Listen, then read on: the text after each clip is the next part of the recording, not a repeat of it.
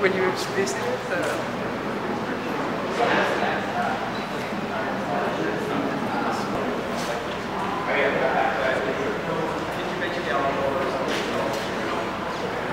Christian the word itself. Uh, I started here about three years ago.